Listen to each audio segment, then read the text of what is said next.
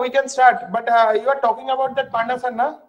Uh, yeah. Uh, meanwhile, I, just a minute. uh, Be there. I'm trying to connect him.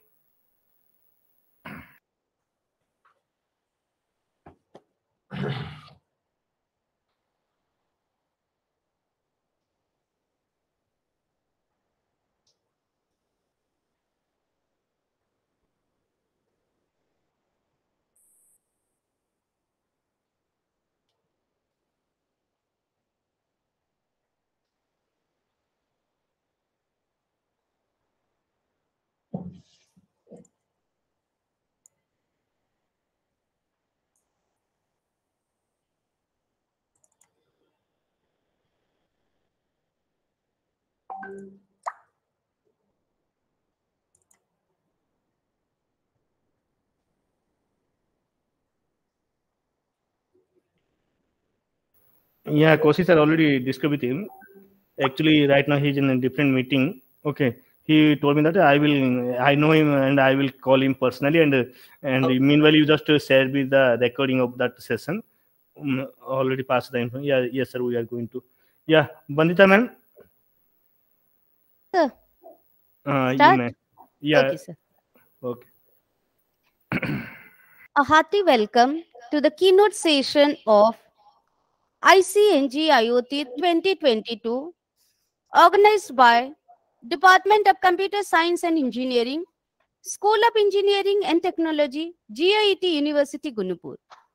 It's my honor and privilege to introduce the first keynote speaker of the day, Dr. Kaushik Paul, Professor, Department of Mechanical and Industrial Engineering, IIT Roorkee. Dr. Paul is working as a faculty member of the Department of Mechanical and Industrial Engineering, IIT Roorkee, since 2012. He had started his career as a BE in Mechanical Engineering in 2003 from GIET Gunupur, Odisha. He has obtained his PhD degree in 2009 from IIT Kharagpur. After that, he joined to Gyeongsang National University, South Korea, for pursuing his postdoc research. Prior to joining IIT Roorkee, he was a faculty member in NIT Agartala during 2011 to 2012. His field of interest are nanomaterials and other high performance advanced materials. Dr. Paul has authored about 120 publications till date. Also, he has authored two books, namely Recent Advance in Elastomeric Nanocomposites and Recent Advancement in Processing of Wood Plastic Composite Foam.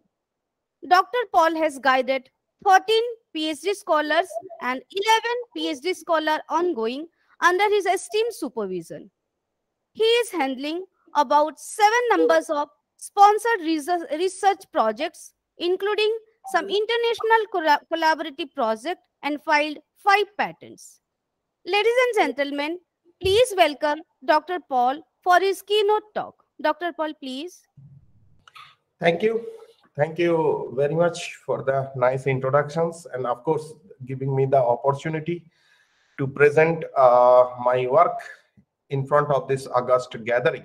And of course, I am really, really privileged. And the name of this university is something different to me because that's why, uh, probably, if I remember correctly, so this is my fourth lecture basically in this university because I have started my career in basically in engineering from this particular university and i passed out in the year of 2002 and uh, i was the second batch in this particular university so today uh, conference uh, topic is really really a very pertinent one because it is internet things. So of course nowadays everywhere we are relating with that particular topic in our day-to-day life. And even if the mhrd the our honorable prime minister so everybody is now giving the pressure or maybe are talking about that ai and ml and nowadays also so many institutes they are adapting this ai and ml course in everywhere. So in our institute also we have adapted we have invented uh, some new courses over there. We have opened some new departments on the ai and ml and not only that uh, from the sponsoring point of view also So whatever the nowadays new calls are coming, either in terms of the DST, CSIR, whatever the things.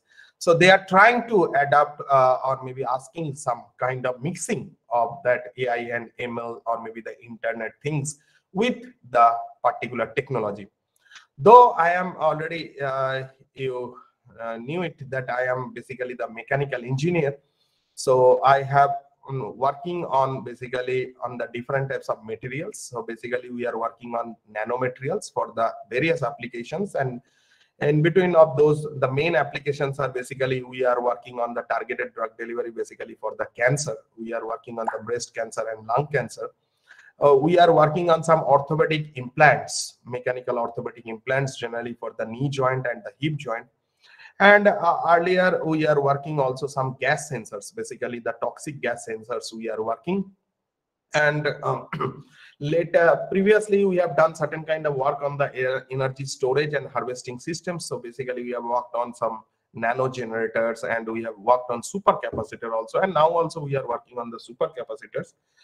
So basically in my lab, what we are doing is that we are synthesizing different types of materials. And not only that, we are basically engineering those kind of nanomaterials and we are working on it. But uh, don't think that today I'm going to discuss about anything of the nanomaterials because today that is not basically is not related with this topic of these materials. So I am going to discuss about certain things, uh, which is basically that how our internet or maybe this AI or ML is going to punch with the our technology, the code technology basically because as i told that i am a mechanical engineer i am in the mechanical engineering department. So when uh, earlier days when you used to talk about the mechanical engineer so something it is coming to our mind is that mechanical. Oh that means it is having some hammer it is having some saw it is having some chisel something like that right? So electronics oh that means they are going to discuss about certain kind of your tv some kind of board or some kind of something like that computer means those who are only uh, relating with the computer itself. But nowadays this all these things are the interrelated one. So many different topics has come and people are basically tending towards those topic because it is basically the interstructure in between this mechanical and electronics some mechatronics has come. So now nanoscience nanotechnology people are working on this particular area all the applications. So computer people are also working electronics people are also working mechanical working material science people are working. So now there's days gone that only the civil engineering means only the sand or maybe the cement kind of things mechanical means only the hammer. So today actually my topic is that how we can interpret all these ai ml and the internet things with the digital manufacturing because nowadays the digital manufacturing will come so before going to share my slides, because uh, why I am telling all these things, then only we can understand basically where we are standing over there and how we can uh, do.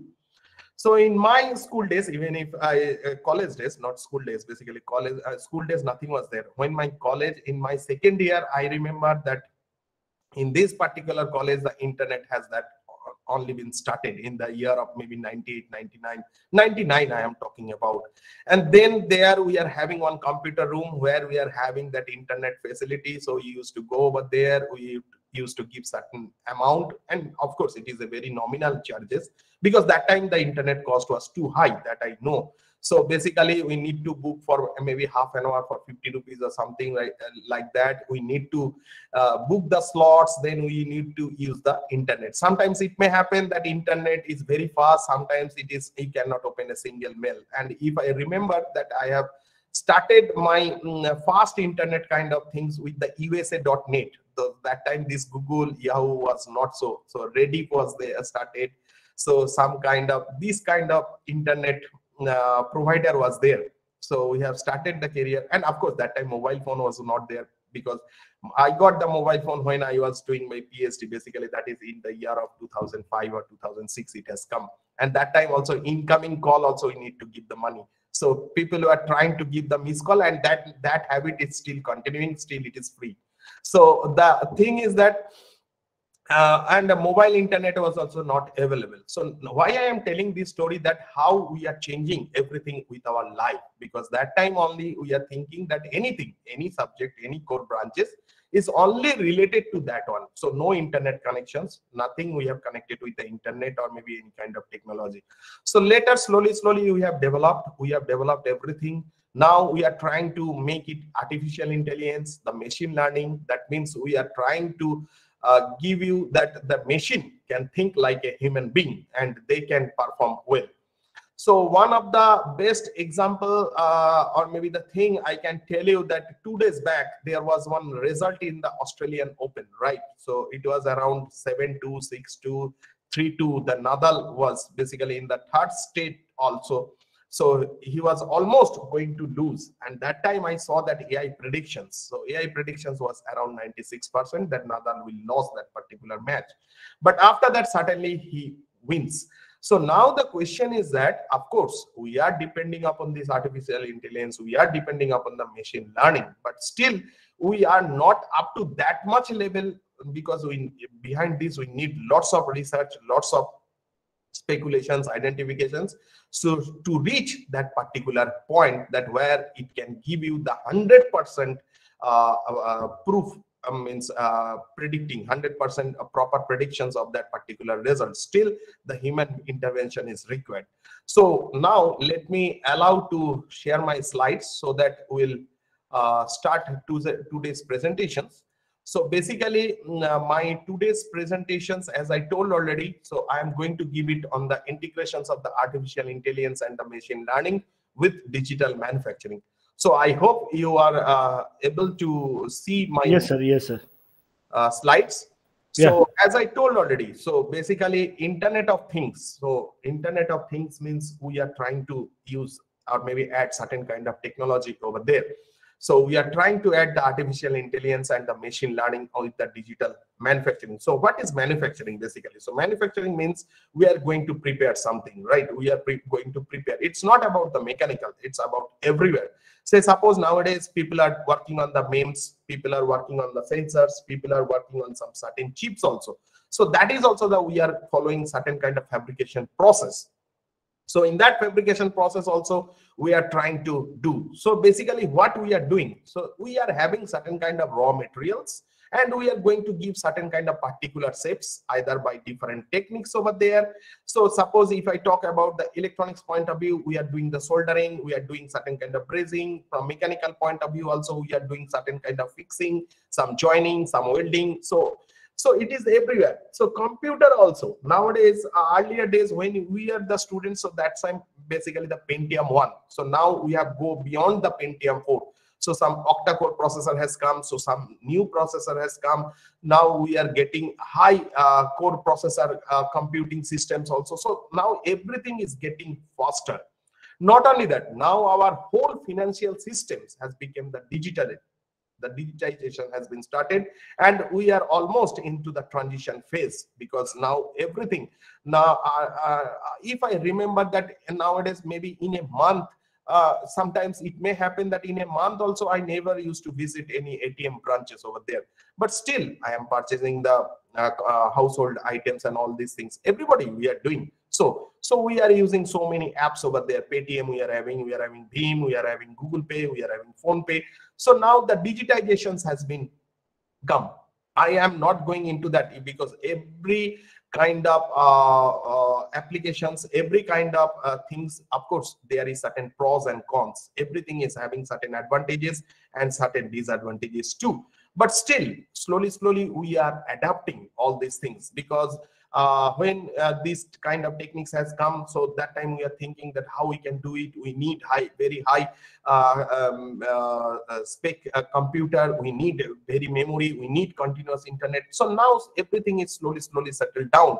And we are basically learning and we are adopting those techniques in our day-to-day -day life. So uh, as I told already, so manufacturing, either it may be the manually we can do. So the labor and everything, the people, worker, so operator. So we needed lots of uh, people interventions. And of course, it will be a overall uh, uh, teamwork where we can fabricate certain kind of products. So suppose if I talk uh, about any car, suppose Maruti or maybe the Hyundai or maybe some Mahindra. So you can find there are in number of peoples are working and they are working into the different areas and then ultimately that everybody's approach is coming and just concentrating on a particular point and one car is basically they are producing. So somebody is working into the welding zone somebody is painting somebody is engine somebody is body shop. So everywhere. So now when i'm talking about the digital manufacturing so digital manufacturing of course sometimes some of the process we it has been digitized basically so either maybe the computer, of course, the computer, we need certain kind of programming, we need certain kind of software, but there are certain so many good advantages of this particular technology. So what is that use of computer-based system to create a product via the manufacturing, a collaborative approach in product and the process design. Yes, earlier days, we I remember that when I um, was a student so the our teacher basically they used to teach us about that AutoCAD, right? So that time, whatever we felt that at the initial stage, we thought it is very, very difficult because we need to know certain kind of coding and all these things. But nowadays, so many softwares has come where you don't need no need to do any kind of coding. Probably you no need to have certain kind of proper computer knowledge over there but simple you can give the command and machine will perform everything in terms of the design in terms of the fabrications. Even if they can do at the any time they can do the testing they can cut the material they can do the cross section they can tell you whatever the properties. Even if they can do the live predictions of that particular components also. So like this way basically we are adapting all this technology to our manufacturing. So it enables manufacturing engineers to provide the immediate feedback to designers if there are constraints in the part manufacturability. Yes, true. So now before going to manufacture, you know that whether it is possible or not, if it will possible, if it will come to the market, what, how it will react to the customer, how the customer will react onto it, what are the problems it may face. So before going to waste certain money, before going to waste your time you are going to get the informations that how this material can work into the system, what will be the advantage of using those materials, and how the it will go or maybe run for a longer time into the market itself. Now, what are the digital market, uh, manufacturing allows basically? So shortening of the development time and the cost, which I was talking about, integration of knowledge coming from different manufacturing process and departments. It's true because now everything is software based. If somebody is doing something from uh, suppose welding point of view they are giving certain kind of feedback. Automatically that feedback within a fraction of a second it is going to the assembly section. So if this part is faulty what will be the remedy? What we can do? Or maybe how it has been prepared. So now everything is over there. Nowadays even if uh, all the informations also we are making it digitally right so all the informations and uh, probably uh, from this year onwards, our passport will also start becoming the e-passport. So these the thing. So on a small thing, no need to carry because for that you need to carry so many equipments and all these things. And sorry, if you are having any kind of uh, this kind of technology, all the informations can be gathered. So for that, you no need to put any kind of diary, any kind of logbook kind of things so everything is on the internet basically. So decentralized manufacturing of the increasing variety of parts and products in numerous production sites focusing on manufacturing organizations on their core competence working efficiently with other companies and suppliers on the basis of effective it based cooperative engineering. So that it information technology it has already been boomed and now it is continuing. And of course in the near future it will help us in all other aspects too. Now what are the basic components of the digital manufacturing? So if i talk about that we are having so many softwares and each and every cases basically we are using it. So like cad computer aided design. Cam we are having computer aided manufacturing cap computer aided process planning factory layout planning ergonomics MRP, manufacturing resource planning, ERP, enterprise resource planning, computer simulation techniques, supply chain management, and the e-commerce systems. So everywhere you can see that our basically the artificial intelligence or maybe the AI or rather I can say that internet is overall uh, attached because without any applications internet is nothing right internet when we need suppose we want to do something suppose we want to book the tickets so, so simple we'll go to the google and go to that proper site we can purchase a ticket. Suppose we want to get um, or to know certain information. So simple we'll go to the google simple we'll write it down all the informations will come. And google also it is a fantastic thing. So that means it is and basically the library basically the source. But how it is working? With the help of that particular internet. So unless and until we are going to utilize that particular thing so there is no need of that particular uh, technology. So cad the computer aided design so simple words i'll tell you that uh, so that everybody can understand. So use of computers to aid in the creations modifications analysis or optimizations of a design.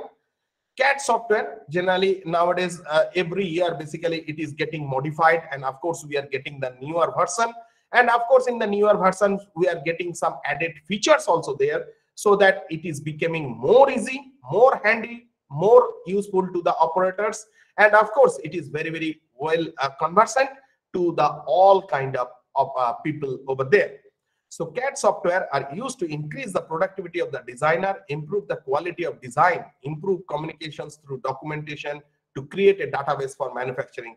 I can tell you where maximum cases, generally CAD maximum cases we are using for the automobile industry.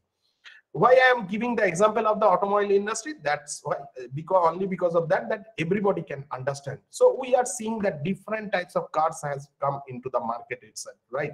So earlier days when you see the cars that was not particularly the compactness was there.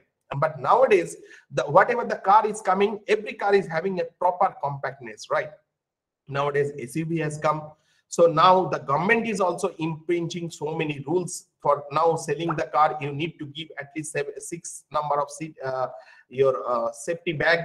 So if every features they are adding and the car company, they are very quickly, basically, they are adding all these features. Nowadays, probably you have heard that last couple of months, a huge um, uh, advertisement was coming from the Mahindra itself when they are going to launch about that um, XUV 700, right? So they have added so many features, and one of the features is called the ADAS.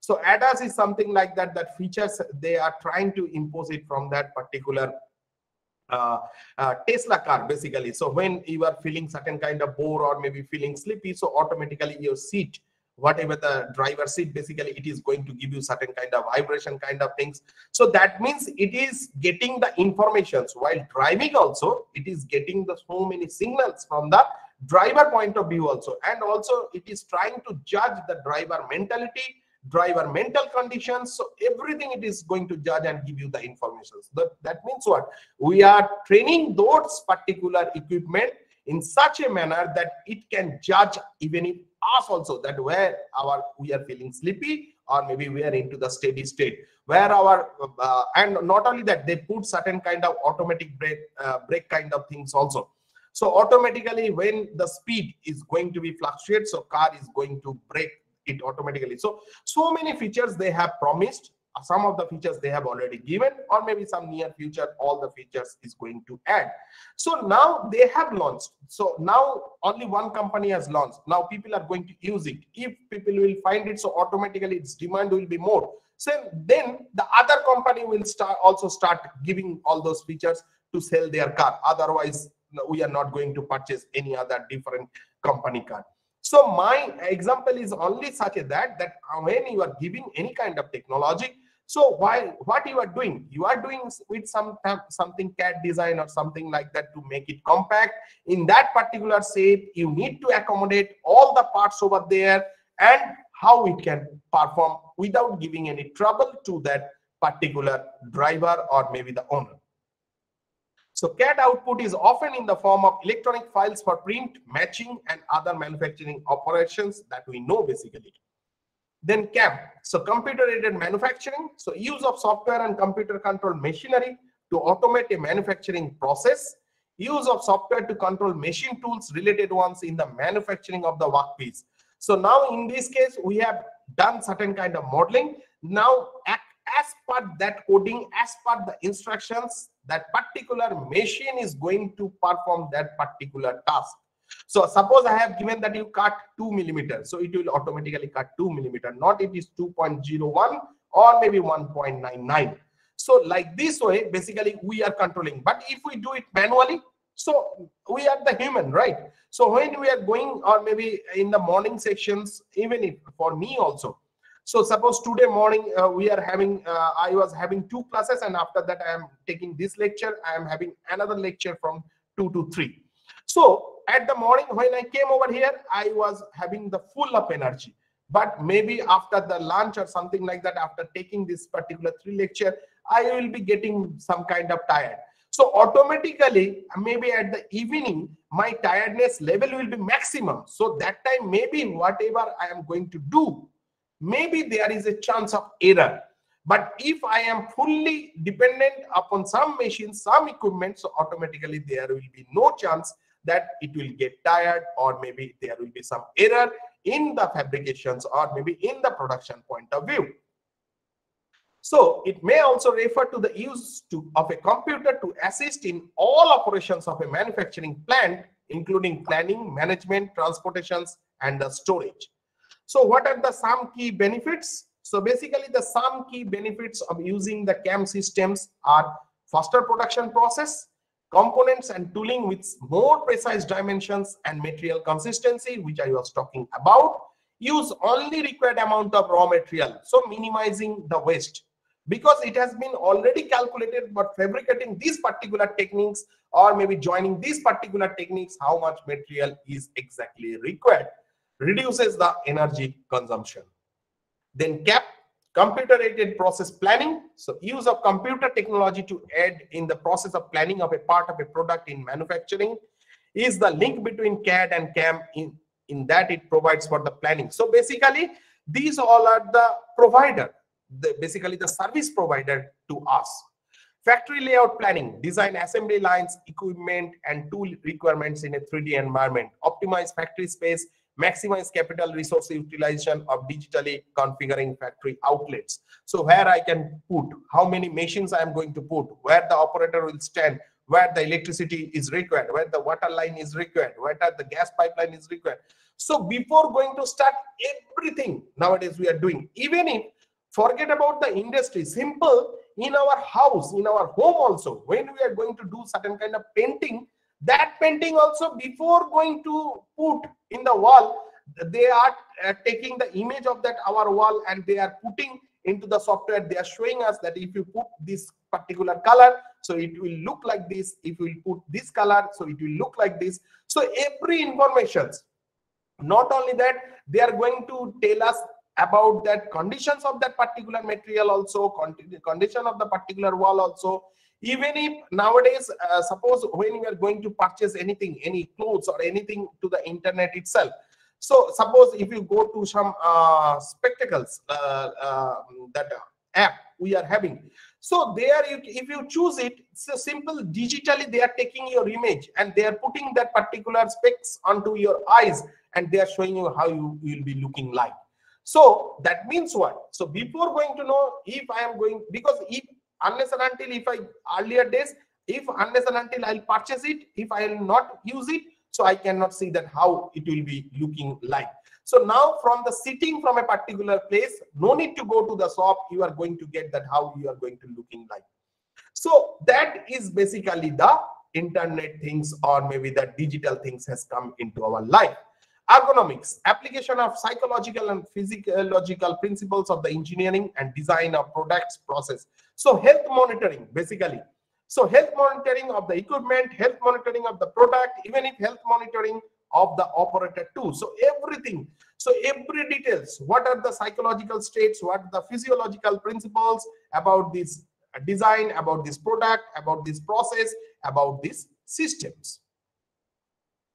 Then MRP, manufacturing resource planning, a method for the effective planning of all resources of a manufacturing company, financial and operational planning in units. It has a simulation capability of answer what if. That means material requirement planning. So if it will choose you uh, or maybe it will give you the different paths. Suppose you are following the path A, if there will be any problem, so it will come back and it will follow the path B. so that it will reduce the time, it will give you the instantaneous results. ERP enterprise resource planning software and systems used to plan and manage all the core supply chain manufacturing. So it is after preparing because how you are going to supply. Now you can find that whenever any product is coming, the main and foremost challenge is over there how I can reach to all the people. So that means suppose I am formulating that particular product over here. So in Roorkee, so uh, my first attempt will be that how I'll reach this particular product to Kanyakumari how I uh, uh, first I'll reach that uh, or maybe send that particular product to maybe Jammu or maybe the interior Kashmir or maybe the interior village side. So unless and until I'll able to send that product, I'll not give them the proper after sale service. So my product is not going to sell. My product is not going to be uh, uh, taken by the customer. So these all are the basically the planning that also we need to do before launching it. Computer simulation techniques, simulation-based technologies constitute a focal point.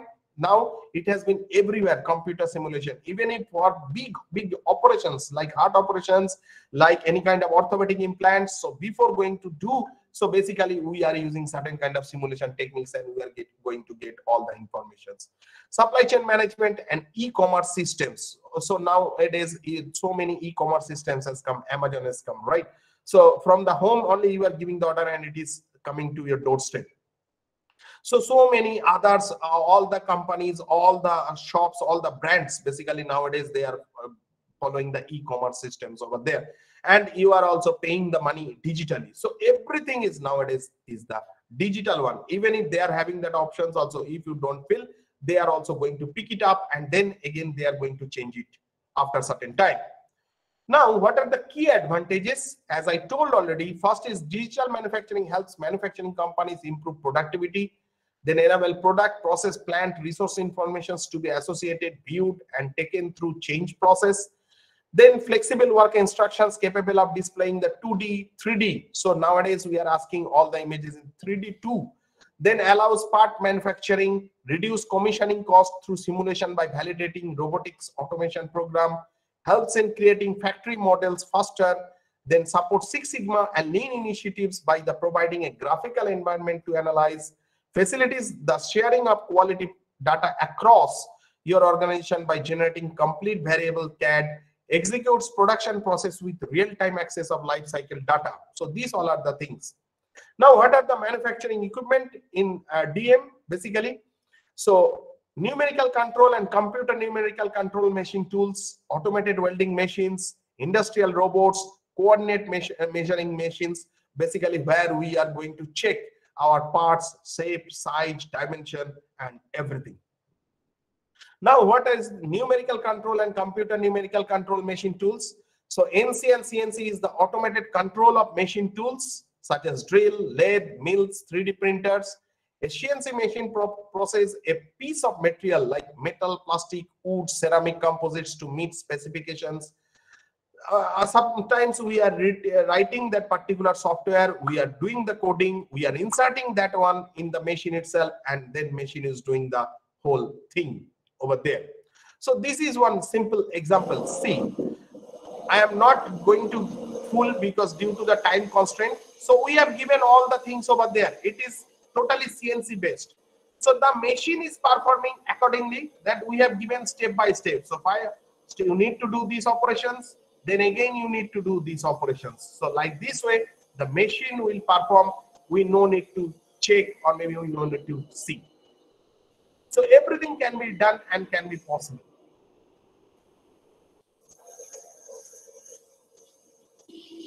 So no human intervention is there.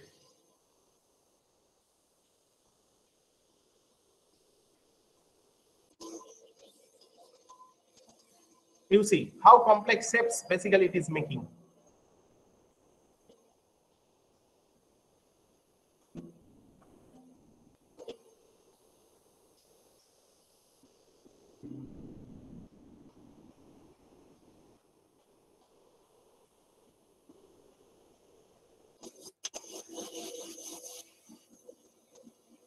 So it has been formed and it has been taken out. Now, automated welding machines also, same thing. In the car company, car industry, nowadays, widely we are using this kind of automated industry. So continuously, uh, people, uh, robots, basically the arms, they are doing. So sometimes it is fully automatic, sometimes maybe it is the semi-automatic kind of things. And not only that, we have just given, so one by one step, because uh, at a time, all the welding will be not, not taking place. So one by one, the uh, automatically welding will be taking place. So it is basically taking care by these industrial robots. Right hand side image, you can find that in the automobile industry, how we are using so many industrial robots over there. So every robot is having a single arm over there and every arm is performing the different task over there. And now this is totally holding by a robot itself, the monitor itself. So now it is checking that whether it is properly done or not, or maybe if there is any fault. Do you think that all these things very quickly can be done by us? It's uh, impossible. So or that means what? The cost has been reduced and of course the production time has been reduced drastically. Not only that, the material handling, material transfer, because we are the human being, we are having certain uh, constraint. Up to certain level, we can bear the load. After that, we cannot. But machine that can bear any kind of load over there processing operations, welding, painting, palletizing, assembly and inspections like assembly, disassembly, product inspection, testing, packaging, and the labeling kind of things. Then coordinate measuring machines. So after preparing the equipment, whatever the shape and size, if there is any error, if the error within the tolerance limit or not, so everything can be measured and can come to the computer itself so precisely. Because sometimes while we are measuring, maybe we are not, not able to measure the exact dimensions, exact length, exact width, but the machine will give you in very accurate manner, maybe into some nanometer level also. Now, basic introductions of the artificial intelligence. So as I told already, so artificial intelligence as an academic discipline was founded in the year of 1956. That means it is not too uh, new. So the goal then as now was to get computers to perform tasks regarded as uniquely human things that required intelligence. So that means we are putting our brain into the system. So system will think, decide and act. So basically in this particular case, they are going to take all the decisions that what they have to do and how they need to do. So computers simulate the human thought process AI means getting a computer to mimic human behavior in some way. The computer is doing something intelligent, so it's exhibiting intelligence that is artificial. So the earlier use of artificial intelligence was image recognition. So nowadays, if you see, and simply if you want to take certain image through the mobile, and uh, probably nowadays uh, in the smart mobile, we are having that particular feature. So if that person image already we have taken earlier, so it can easily recognize that when we have taken what was the dimensions we have used, what was the color we have used, what was the settings basically we have used, extracting meaning from the text itself. So now the machine learning. So difference between the human and computers. So human learn from past experience, at least they try. Computers or machine need to be told what to do.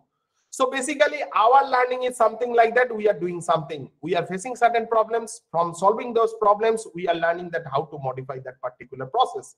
But computer, computer already we have given. If this problem will occur, you need to do this. If this will come, so you need to react like this. So everything is, oh, we are putting over there and that machine is doing like so. So computers are strict logic machines with zero common sense. That means if we want them to do something, we have to provide them with detailed step-by-step -step instructions on early what to do. And we write scripts and programs for computers to follow those instructions. So few days back, basically another example I am telling you. So few days back, basically I went to go NASA, I, uh, sorry, ISRO. So in the ISRO, basically they are working with the NASA for one particular project that is called the Gaganyaan. So they want to send the first robot over there. And in that robot, they are putting all this artificial intelligence over there.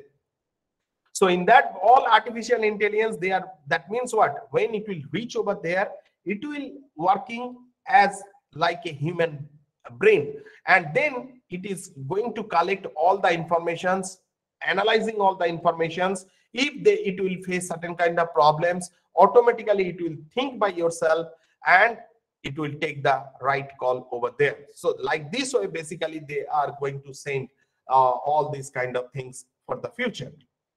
The process of learning and of begins with observations or data such as examples direct experience or instructions in order to look for partners uh, sorry patterns in india and make better decisions in the future based on the examples that we provide Machine learning concept consists of getting computers to learn from experience past data. So what is machine learning? As defined by Arthur Lee Samuel in the year of 1959, machine learning is a field of study concerned with giving computers the ability to learn without being explicitly programmed. So sometimes it can sense also. So that basically the brain, because in our case, we are not doing any kind of coding in our mind, right? So automatically we are reacting according to the environment. So that also the same thing we are doing, trying to replicate into the brain of that particular computer or maybe the robot. So basically machine learning makes computer more intelligent without explicitly teaching them how to behave. Machine learning has revolutionized countless industries it is the underlying technology for many apps in our smartphone from virtual assistants like Siri to predicting traffic patterns with the Google Maps. So machine learning is one of the way to achieve the artificial intelligence. Now, what are the machine learning uh, learning methods? So first is called the supervised machine learning algorithms. It can apply what has been learned in the past to new data using the labeled examples to predict future events. Unsupervised machine learning algorithms, unsupervised machine learning algorithms are used when its information used to train is neither classified nor labeled. So one is that the classified informations, one is called the non-classified informations. So basically, one we are going to supervise, one we are not going to supervise that particular algorithms. Semi-supervised, so both labeled and unlabeled data for the training itself. And when I'm talking about the reinforcement, so basically the reinforcement machine learning algorithm is a learning method that interacts with its environment by producing actions and discovers errors or maybe the rewards where basically we are having that control feedback control loop over there. So trial and error search because i am doing something but i am finding it is error. So basically again i am going to try it so like this way, several times, multiple times, I'm going to do that one and then I'm going to match with the proper results. Delayed reward are the most relevant characteristics of reinforcement learning over there. So some common applications of the AI. So basically personalized coupons or product suggestions we receive after shopping online. AI-based self-parking or self-driving cars, Tesla has come. Virtual assistants like Siri, Alexa is there, social media news feed, chatbots, trading and investment, traffic management, etc. Where basically nowadays we are applying that artificial intelligence. And we hope in the near future, we are going to utilize in every places. So role of the artificial intelligence in modern terms generally refers to computer systems that mimic the human cognitive functions over there. So it comprises independent learning and problem solving. So basically what we are trying to do, we are trying to incorporate the brain inside the machine itself. So decision making, solve complex problems, perform the big high level computations and increase up to the accuracy. So AI driven system can discover patterns, trends, so everything. So everything the AI driven patterns can do but the thing is that, of course, it is also having certain loopholes till now. So use of AI in the manufacturing. So where basically we are using that AI. So artificial intelligence based startups are being developed, machine vision tools that detect microscopic defects in products at resolution well beyond the human vision. Means our eye is also having certain limitations. So after beyond that limitations we cannot measure anything but a microscope or maybe the microscope can do anything over there and even if it can go into the nano level too The machine vision tools use a machine learning algorithm tested on small volumes of sample images. The computer not only sees the errors, but process the information and learns from it observes basically. So objects, conveyor belts, the continuously machine parts is moving and continuously this machine basically is taking the image, analyzing it. And if it is getting certain faulty image, so automatically this, this arm will come and it will throw it out. So there is a negligible chances of error basically. In 2014, China, Japan, the United States, the Republic of Korea, Germany together contributed to 70% of the total sales volume of robots. In the automotive industry, a sector with a particularly high degree of automation, Japan had the highest density of industrial robots. Yes, of course, they are the basically the stalwarts for using the robots in the world at 1414 per 10,000 employees. So 1,414 per 10,000 employees, they are using the robot. So industries have begun delivering the vision of integrating software and artificial intelligence into every phase of the manufacturing cycle. Generative design approach in manufacturing. So a new trend, basically it is coming out. So designer of engineers specify design goals as well as material parameters, manufacturing methods and cost constraints into the generative design software. Then software will do accordingly. It will take the call that I am, I am having this much of amount, this much of uh, material, this much of this process. So how we can do it? So the software explores all potential permutations for a feasible solutions and it will give you maybe five or 10 number of solutions and you choose the best. The software also uses machine learning to test and learn from each iterations to test which iterations work and which iterations fail basically. So applying AI and ML in robotics. So already I have given the examples that every industry nowadays we are using the robot for getting the maximum production rate and early solutions. Four tenets of artificial intelligence and machine learning in robotics are vision, grasping, motion control, and of course the data. So that is basically the scope of AI in the robotics includes so what is visions? AI is helping robots detect items they have never seen before and recognize objects with far greater detail. Grasping, robots are also grasping items they have never seen before with AI and machine learning helping them determine the best position and orientation to grasp an object. Yes, proper location selection, uh, proper selection of the location. Motion control, machine learning helps robots with dynamic interactions and obstacle avoidance to maintain the productivity and of course the data ai and machine learning both help robots understand physical and logistical data patterns to be proactive and act accordingly. So i am giving certain kind of examples. So supply chain and logistics applications are seeing some of the first implementation of ai and machine learning in robotics. A robotic arm is responsible for handling frozen cases of food that are covered in the frost where human intervention is not at all possible.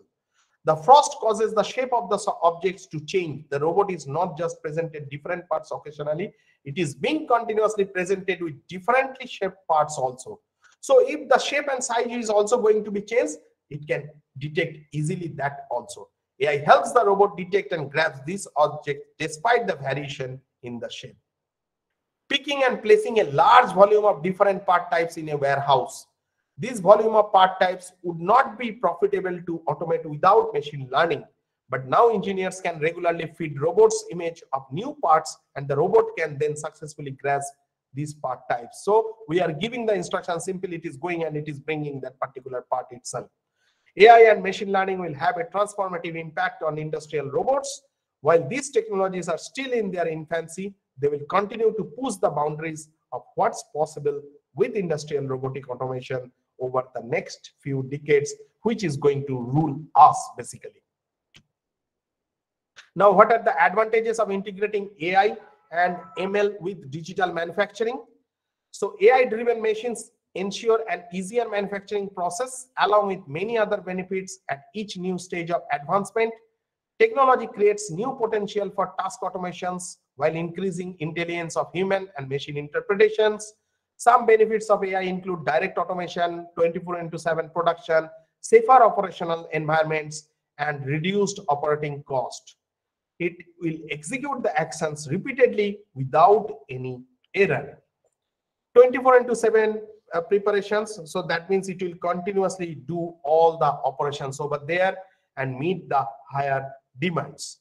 Safer operational environment, fewer human lab, uh, laborers performing dangerous and strenuous tasks.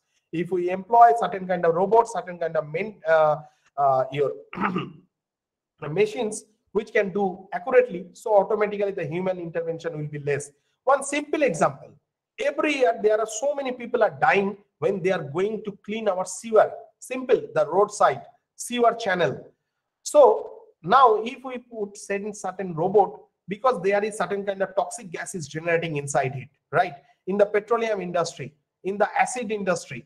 So basically, there where the human is continuously dying, we can do it by simple applying the robot itself. So we can save the thousands of lives over there, reduce the operating cost, environmental impacts. So self-driving cars are potentially beneficial to the environment. They can be programmed to navigate the most efficient route and reduce the idle time. Additional benefits, quick data-driven de decisions, advanced process effectiveness, minimize operational cost, facilitate product development, and enable the excessive scalability. Disadvantage, now it is high cost that I admit, but when we are going to increase this number, or so many places we are going to increase, so automatically the production will be higher. That time the overall cost is going to be reduced, maybe after certain time.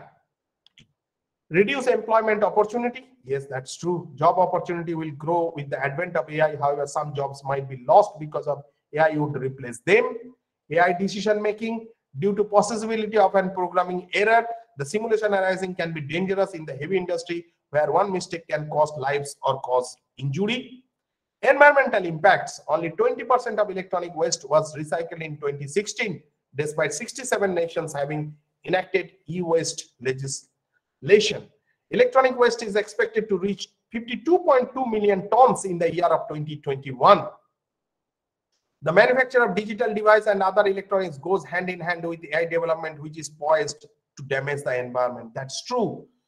That we are using the computer, we are using the so many machines. When it is not working, just simply we are throwing. After that, basically, we are not thinking where basically it is going. How we are storing all these things. So electronic waste is a big, big problem, environmental problem nowadays. In AI-driven cars, one mistake can cause uncontrolled emission by fuel consumption. AI trained to act on environmental variables might have inner, erroneous algorithms which can lead to potentially negative effects on the environment. When machines develop learning and decision-making ability that is not coded by a programmer, the mistakes can be hard to trace and see. As such, the management and scrutiny of AI-based process are essential.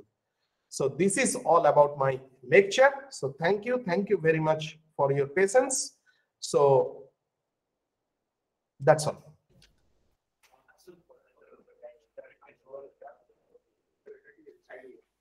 Thank you so much, sir, for your valuable insights on embedding the recent technologies in digital manufacturing, as well as the implementation of intelligence into mechanics and some other techniques also. Once again, Thank you so much, sir. Thank you. Thank you. Thank you all. I am profusely overjoyed to take the opportunity to introduce our second keynote speaker of ICNG IoT 2022, Dr. Aninda Bose, Senior Editor, Springer Nature. Dr. Bose is responsible for publication of scientific books in the field of applied sciences, including topics on interdisciplinary applied science, computational intelligence, intelligent computing, communication, system and security, energy and water. His portfolio includes monograph, edited volumes, professional books, textbook, atlases, and conference proceedings. I would like to welcome Dr. Aninda Bose for the keynote talk. Dr. Bose, please. Uh, thank you, ma'am. Thank you very much. I hope uh, you all can hear me. Yes, sir. You are audible. Yeah, yeah thank you. Uh, it was a fantastic talk by Dr. Paul. I was very much enjoying the talk. You know, Dr. Paul, thank you for Thank showing you. all these uh, robotic parts. You know, that is. Uh, I had an opportunity actually. You know, a couple of years ago, I visited Oxford BMW Mini workshop, and it was such an eye opener at that time. You know, where looking at machines are doing uh, all the activities, and so uh, customized cars are getting manufactured over there with such a small change in the specifications. True. But uh, there is another unfortunate part also attached to it, which you have highlighted in your one of the slides over here, that there is a loss of uh, labor, you know, and uh, initially that uh, factory used to have 25,000 people, and now only 500 people or 600 people are working in the plant, and some 2,000 people are only employed all over the plant. So it is a huge, uh, you know, uh, change in the uh, employees but definitely it's an eye-opening experience which we had over there so do we have anything in india at this uh, point Any yes, true. We are doing. We are doing. Now all the companies has been started. So Okay, that's why I have given the examples of the Mahindra. Uh, Okay. the Mahindra XUV 700. Now they are using these kind of techniques extensively. okay okay thank you thank you so much sir Thank yeah you. i will come back to my presentation now and uh, this is basically a presentation on uh, publishing ethics which is very close to my heart and uh, there are certain author services also i will highlight in this presentation let me just share my presentation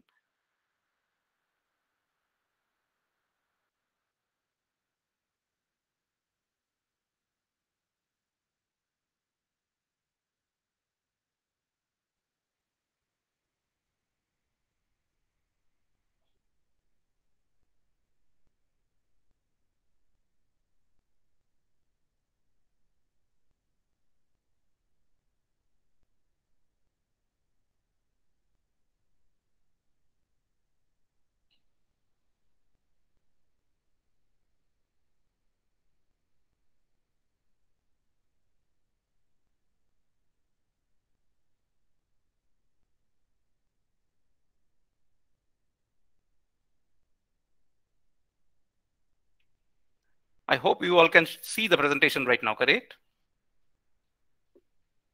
Yes, sir. Yeah, thank you. Thank you so much. So as I said, the uh, presentation is on publishing ethics and author services. So publishing ethics is, as I said, is very close to my heart because I feel the community in which you are working, you should be very ethical with your work. And that is more important because I know you people are very disciplined and very curious because all scientists and all researchers are. But ethics is equally important. And uh, there are certain author services I will also mention after uh, during my presentation you know uh, which are very useful for your regular activities as well as for your reference purposes. See i come from an organization which is called springer. I hope you all know springer is a publisher uh, of choice. And we are basically in this industry for uh, for almost 180 years. It started in 1842 as a small bookshop the person you can see on the slide julius springer he has actually started this uh, small shop in berlin. Then eventually we became you know publisher of uh, many uh, nobel laureates. And then uh, on, in 1924 after the first world war you know we moved out of berlin and we opened our first uh, second office in vienna. That is uh, you know the dynamics of europe was very different at that time. And vienna was very cultural hub for all the people and uh, a lot of artists and a lot of authors were used to stay there and after uh, the Second World War, we opened our the biggest office which we have, which is also our editorial office that is in Heidelberg. So right now we have almost 10,000 plus colleagues, and we are operating from 50 different countries. And the name of the company has been changed from Springer to Springer Nature, if you have uh, observed over a period in last five six years. In 2015, we had a collaboration with Macmillan Science and Education, and the name of the company changed, and the pioneer journal, which is called Springer, is now part of Springer Nature. So the company is also known as Springer Nature. See, our role is mostly in academic book publishing. We are into journals and academic book publishing, and we will talk about mostly about book publishing over here. We are one of the largest academic book publisher in the world, and uh, we publish books all across science, technology, and medicine. We started with engineering and mathematics, and we are one of the pioneers in mathematics publication.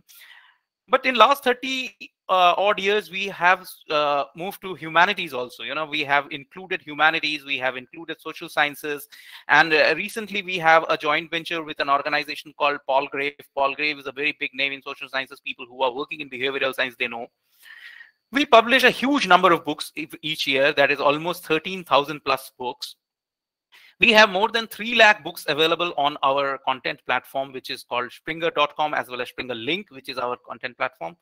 So we are one of the pioneers in digital publishing, but we have realized in last two years, you know, the, how important is digital publishing because of pandemic. It was highly the publishing was highly impacted, especially the print media was heavily impacted because uh, shops were not open, uh, printing was closed, and we were able to reach our uh, you know readers or researchers through digital content only. And huge number of uh, downloads have happened and this is what actually uh, shown us that how important is digital content is and how much uh, you know popular it is among the researchers and how they basically download the content and how they work on it. So this has really opened our eyes also but at the same time we are always there with so many uh, books on our platform that it helped us that we started uh, way back almost 30 years ago. So it easily we managed to you know uh, give uh, the content to the readers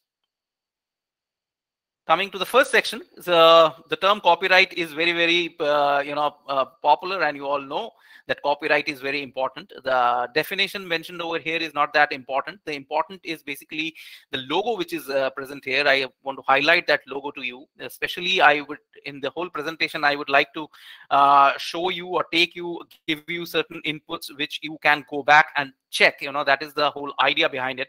Because in half an hour's time you cannot uh, teach anyone anything but definitely you can tell them about certain things where they can go and they can check on their own. So one of the websites which you should as a researcher should check is COPE which is committee on publication ethics. If you go to that website you will find a lot of data is there related to copyright and especially the data related to different aspects of ethical publication. And in very lucid language many case studies are there many uh, important uh, information are there. So it will be a good read and good understanding and over a period of time you can go back to that uh, website again and again and you can see there are new things gets added new uh, comments there they come and you can also chat with other people. So cope uh, all good publishers are member of cope and we also deal all unethical activities according to the cope guidelines. So it is very important for you to know cope and to see what exactly cope offers now, what is the most occurring reason for retraction? Uh, if we talk about uh, retraction as a whole, what exactly is retraction? That is first thing you have to understand. Retraction means something, you know, taking back. Now, taking back what? Uh, the one thing which is published, you know, uh, an article or a chapter or a conference proceedings paper which is published online there is a possibility that we can take it down from the digital platform this was not possible when we were dealing with uh, hard copies or print copies because you, you cannot go to the buyer or the purchaser and take the book back and do a retraction. Retraction is only possible for digital content. Now, when we were doing retraction over a period of time, we have done many retractions and many publishers have done it. So there is a survey which was done and we tried to see what exactly is the reason for retraction, you know. So the first reason, which is the highest uh, you know uh, percentage of thing which is present in the data is like honest error. You know honest error is something which is very uh, again an eye opener for us. Why there is an honest error? It says 40% people are doing committing this error without the knowledge of policy. You know that is why i said you have to go to cope. You need to read because many people are actually committing many errors during their publication process because they don't know the policies and the guidelines well the second reason you can see is fabrication and falsification. That is almost 28%. So that means that data is available, and with the uh, um, you know internet available for last 20 22 years, it is like much easier to get data. And you have to understand that the data is which is available over there is basically if it is published by someone, it's not free. It is not that you can go and you can use it, or you can fabricate it or falsify it. So that is a big, big unethical activity. Then redundant publication, that means self-plagiarism, that you are plagiarizing your own work, you are publishing it again, and there are some other reasons also. We'll see these uh, things in detail also. So importantly, another aspect is simultaneous submission, and simultaneous submission is again very unethical. Now, what exactly is simultaneous submission? That means submitting the same proposal if I'm talking about a book proposal, to the multiple publishers at the same time. Or if I'm talking about a journal article, that means submitting the same article to different journals at the same time. Now, why this is unethical? Because, you know, you will say, I'm just submitting the article or I'm just submitting the chapter or submitting the book to the uh, publisher and I'm not publishing it. But it is unethical. The reasons are very simple. It's a waste of time, effort, and resource. It's a waste of time, effort, and resource. Which resource? The resource is very important here. Resource is reviewers. Now, this is a very interesting industry. If I talk about it, you know, you will find it very interesting in a way. This is a triangle. There is a triangle over here. Like we have authors and we have readers, correct? Now, all these authors who are writing, they are also the readers because they are only downloading and reading the content also. And both these authors and readers, they are also having a role of reviewing the work. That means they are reviewing the content. So they are reviewers. So what exactly is happening when you are doing a simultaneous submission, when you are sending your proposal to different publishers at the same time, different publishers are approaching reviewers. And these reviewers are not many. You know, if you look at your own discipline or your area, very restricted number of reviewers are there. So if reviewers are getting, you know, same proposal from different people and they are working on the same proposal or same article, it's a huge waste of time and effort. That is why simultaneous submission is not ethical. So what is the solution? You submit the article or submit the book to a publisher, see how they deal with it. In case you are not happy with it, the way you are basically looking forward to your expectation is not met, or you think that your paper is not getting, uh, you know, uh, reviewed in it on time, then you should withdraw that. At least you should mail give a mail to the publisher that I want to withdraw my article, and then you can send it to some other journal or you can send your book to some other publisher. There is another unethical activity which is called plagiarism, and I hope you all know about this particular terminology. Plagiarism. Plagiarism means you know using someone else's work without taking permission. Now, why plagiarism is very bad? Plagiarism is very bad because it, the work belongs to someone else, and you are not actually giving any recognition to that person, and you are trying to use that work with your name and with give without giving acknowledgement so there are uh, terminologies nowadays people use uh, you know similarity overlapping and uh, interestingly people don't get you know uh, uh, offended when you say your work is 60% uh, 70% similar rather than if you say 60% plagiarized. But the meaning is very same. That means if the work is 50% 60% similar also that means you know it is it cannot be used but there is something called fair use, and there is a document uh, which present in Google. If you go Association of Research Libraries 2012, this document talks about fair use, and there, are different uh, documents. Even COPE also talks about the fair use. And what exactly is fair use? Fair use means uh, content, how much content you can actually use from someone else's work or your own work, which is already published, and without taking permission. So that's a very, very uh, small content which you can use or you can refer to your work. But if you are using substantial content, figure, tables from anyone else's work or from your own published work, please take permission. I will take tell you how to do that also. Now, how are we alerted to plagiarism? So if plagiarism is happening in the industry, which is happening very rampantly, and uh, now in last two years, we have seen suddenly the quantity has increased heavily, but the quality has decreased also. And because there are lots and lots of cases of plagiarism we are getting. So what exactly is happening when there is a plagiarism?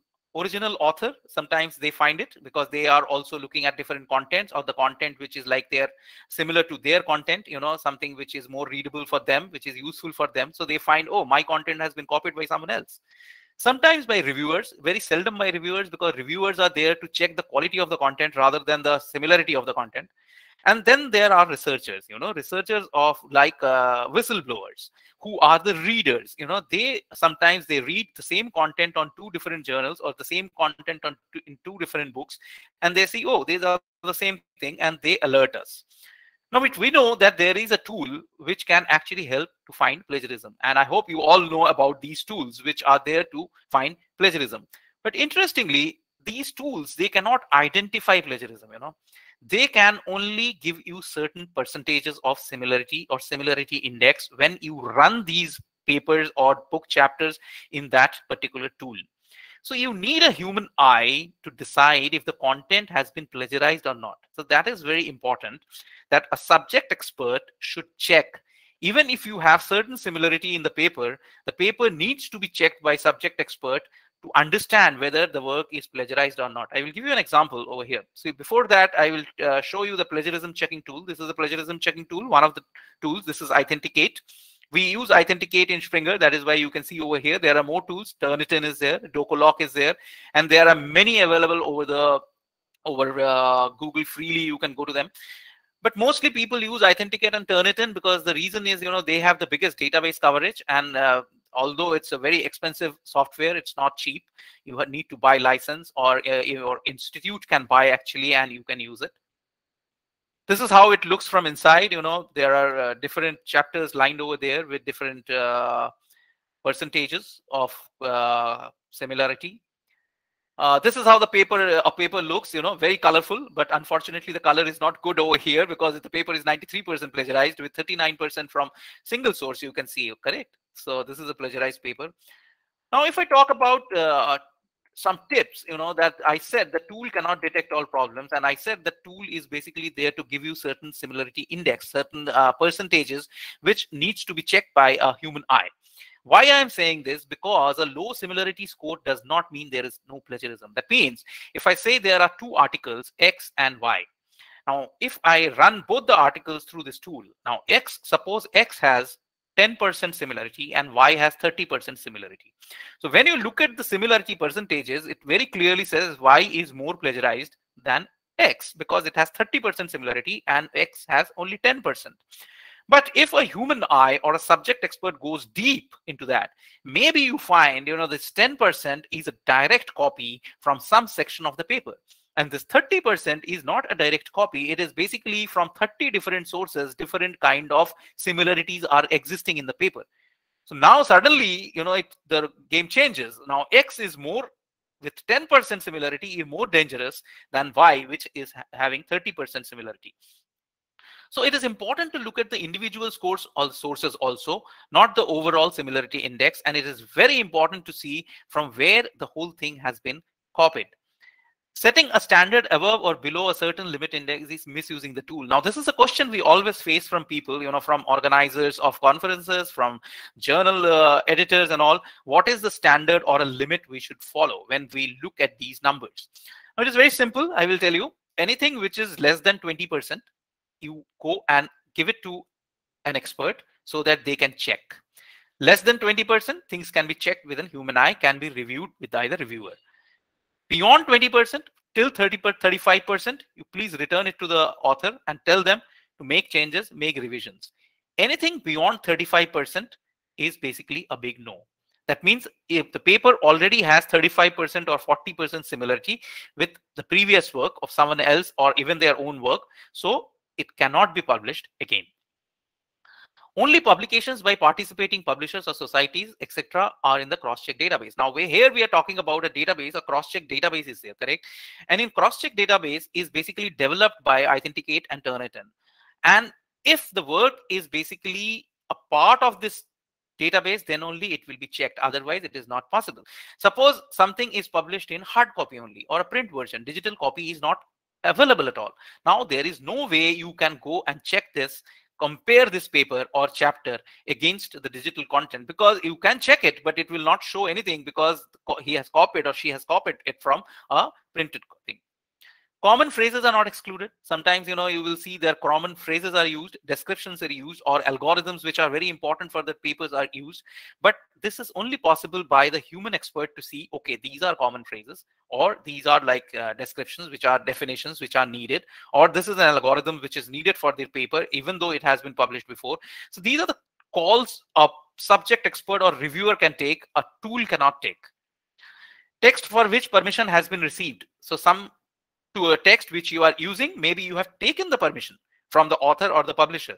But tool is not aware that you have taken the permission. Tool is anyways going to highlight that text as a similarity, correct? So again, a human expert is needed. That is why I'm saying again and again over here, the numbers are not going to tell you anything. The numbers are going to be, you know, give you an impression only.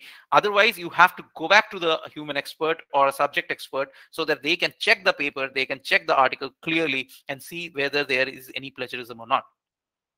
Patchwork plagiarism is another type of plagiarism because patchwork is like you know you're taking something from somewhere and it is very difficult to uh, find that patchwork plagiarism. But my whole suggestion will be to avoid plagiarism completely. And if you really want to republish something from your work also please go and take permission self plagiarism as i said you know redundant publication. Self plagiarism is like you know you are actually you have published something and then you are trying to publish it again. Why this is unethical? Because uh, whatever you have published you have transferred the copyright to publisher number one. So copyright of the content is with the publisher number one. Secondly something which you have already published is already sold to people by the publisher. So it's already been purchased by readers. Now if you are reproducing that content again that means you are basically cheating the readers you know? So it is not very unethical uh, sorry ethical so that you should avoid self plagiarism data fabrication and falsification as i said with internet you know uh, there's a lot of data which is available and there is a possibility that people go for these fabrication and falsification and they use it for their own work which is again very very unethical so general advice for me is verbatim copying should be put into quotation marks. If you are taking something from some paper please put into quotation marks and give permission uh, take permission give credit to the original author. Now if you are writing to the author and author is not aware how to give you permission it is better to write to the publisher. And always request permission for reuse of figures and tables. If you are reusing any figure or any table from someone else's work or from your work please take permission back and then use it how to take permission back very easy in this digital world you go to the chapter from which you are actually going to use the content if it's your chapter or someone else's chapter go to the chapter go below there and you will find you know there is a content about this chapter which talks about its DOI, online ISBN and everything. And there is a button over there which says, or a link over there which says reprints and permissions. So if you click reprints and permissions, you will take be taken to a page called RightsLink on right link you have to answer certain questions you know where you are going to use the content who are basically the authors of the content so whether you are the author of the next book. So you have certain questions which you have to answer. Mostly if it is your own paper there is no charge attached to it. You get the copyright back and then you can reuse it now, if it is someone else's work, then there is a possibility that publisher or author, they will charge you something for reuse of the work in case you are getting any kind of royalty or remuneration for your work. If you are not getting any kind of remuneration for your work and you are just reusing it for the purpose of your work, then I don't think you have to pay anything, but taking copyright back is very, very, that means taking permission is very, very important. Coming to my next uh, section of the presentation, that is author services. I will talk about certain services, certain policies. These are the pages or some tools which are like you can go and you can use them. Once you use them, you will understand the you know uh, importance of the tool or uh, what exactly you want, whether it is useful for your work, then you can use it for other purposes also. Firstly, I want to tell you how to reach the editor in Springer. You know, this is a question which comes to us many times and people don't know how to actually go to an editor, how to find an editor. You know if you go to springer.com you will find a button called subjects you know a link called subjects. If you go to subjects you will find all the subjects we are dealing in. It's basically listed over there. Suppose you want to publish anything in mechanical engineering so you have to go to subjects you go to the engineering page. Now on engineering page all the domains of engineering will be listed and you go to mechanical engineering once you go to mechanical engineering you will find the journals the book series recent books are listed over there and also you will find a link which says contacts and this is available on all subject pages where you will find a link called contacts. So if you go to contacts, you know, you will find the name of the people and you will also find what exactly the areas they are dealing in. If it matches with you, you please write to them. There is a tool called Reviewer Finder, very interesting tool. So you can go and you can use this tool and see whether it's useful or not because nowadays when you actually submit your article for a journal or a book chapter to a, an editor or sometimes a book whole book to the publisher then they ask for reviewers you know mandatorily you have to provide some reviewers. So this is a tool where you can actually find reviewers. And interestingly you know this only not for finding reviewers. If you find people who are working in your area in this tool then you can actually collaborate with people also. You know networking is very very important and collaboration is the most important thing nowadays. So there is a possibility that you can find people whom you can collaborate with with this tool there are pages which are very important. Uh, if you go to springer.com, there is a page called author and reviewer tutorials. So you don't have to rush. You know, there are uh, contents, there are videos, there are different materials and talk, there are guidelines which you can go and read at your own pace.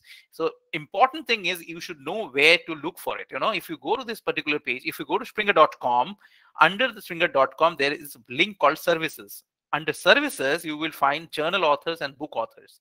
So if you want to know anything about journal authors, you can go there. If you want to know anything about book authors and editors, you can go to this page and you will find ample of data, ample of information, which you can actually read from time to time and you can refer also whenever you are in need this is another tool SharedIt very very interesting tool. And this tool is like you know uh, started almost three years ago. We started with journal articles and now we are uh, we have moved to conference proceedings and i think eventually we are going to add it for book chapters also. Now, what is SharedIt? When you publish an article with springer then the production team gives you a link. You know after the publication is done he or she shares a link with you. Or sometimes this link is also available down there at the end of your paper online. Now, what this link is for, this link is basically for sharing your work online with people, with the community, with different readers. So you can share the whole paper without any legal issues. The reader can actually annotate it, they can read it, they cannot print it or download it, but they can read it, whole thing. So how this works you know it works in a reverse way also and that is also very interesting. Suppose you find a paper on springer nature website which you want to download but you cannot because your library or your institute has not subscribed to that.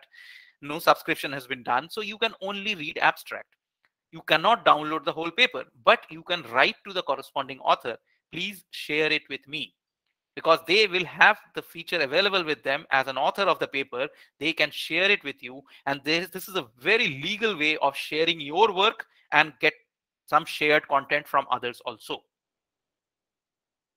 ORCID ID, I hope you all know this. Researchers, all researchers should have this ID. This is like an Aadhaar card, I always say for uh, research people you know this is this gives you an unique identity to you. And nowadays many journals and many book publishers are actually asking for your ORCID IDs this is the best way to get your work recognized you know because uh, when you when there are common names you know there is a possibility that your citation get mixed up.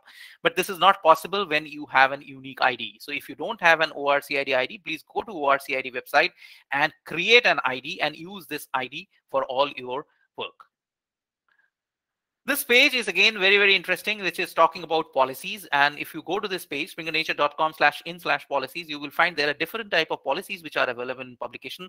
First is publishing policies. Second is editorial policies. Third is research data policies, because you must be using a lot of data for your work. So research data policies are there. And recently, you know, everyone is talking about open science and people are looking forward to open access, open data. So there is an open access publication policy and what all pol these policies are, you can go to this page at your own pace, take your time, read the content, and it will be really, really useful. This is a featured blog. Uh, this is a blog called Source, and this is the source is basically something our uh, marketing team and author service team are basically maintaining this. So you can use Source for writing your content. You can use Source for reading the content in different areas. Uh, you will get a lot of uh, information about career, a lot of information about the new happenings in the world. So source is a very, very rich material which is available free of cost. You can go, you can actually register and you can get an alert also from source and you can read the content which is available there. Before I conclude, I always talk about a couple of books which are very useful, which are almost necessary, I feel, for people who are in research. First one, you can see on the uh, slide, How to Write and Publish a Scientific Paper. This is a book which was written by Robert A. Day.